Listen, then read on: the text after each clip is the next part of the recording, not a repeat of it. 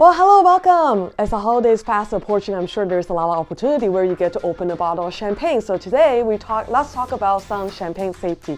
Yes, the bottle I'm holding my hand is actually a lethal weapon if not used correctly. And I know a lot of people have fear when it comes to opening a bottle of champagne. So let's go over it today. When it comes to champagne, now most of the producers nowadays are very um, thoughtful as far as they now put a nice little pull tag on top. So the first thing you want to do is you find that pull tag, for example right here. They already have it prepared for you. Gumbo is my lovely assistant. Would you take that away? No, no, you will not. Okay. And next thing you, next you notice is the cage around the cork. That is what is keeping this uh, wooden bullet away, uh, tame and um, away from danger.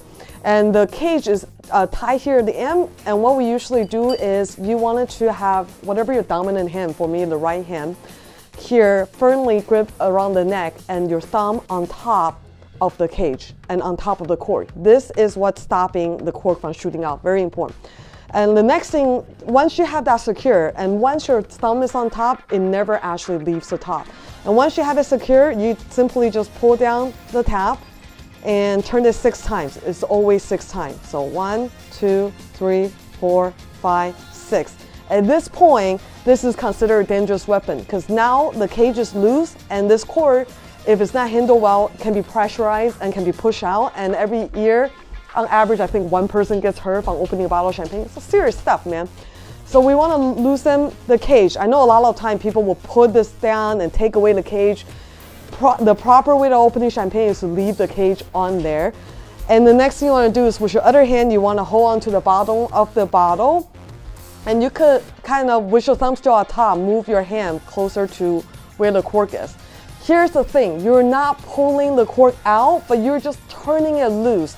And as you're turning it, you're actually pushing the cork back in. When I say that, I mean stopping it from coming out. So I'm slowly turning it, I'm not pulling on it, I just turned it and as I start turning it, the natural pressure that's built inside the bottle will help push the cork out. I don't know if you can tell. Slowly, I'm actually pushing it pretty hard and the cork is just naturally, I'm pushing it in, but the cork is naturally wanting to come out. And as you feel it comes, it gets really close there, you want to slow down even more and let it very gently. You see how I'm like pouring it, just pulling it just ever so slightly, very gently.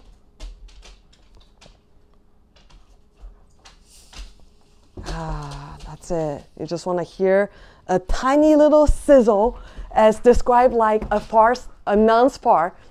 Doesn't quite smell like a non-spar.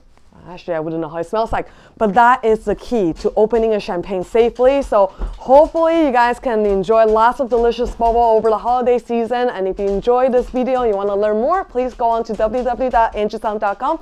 I have all my videos out there and all my other tips and blogs. Thank you for watching. I'll see you tomorrow.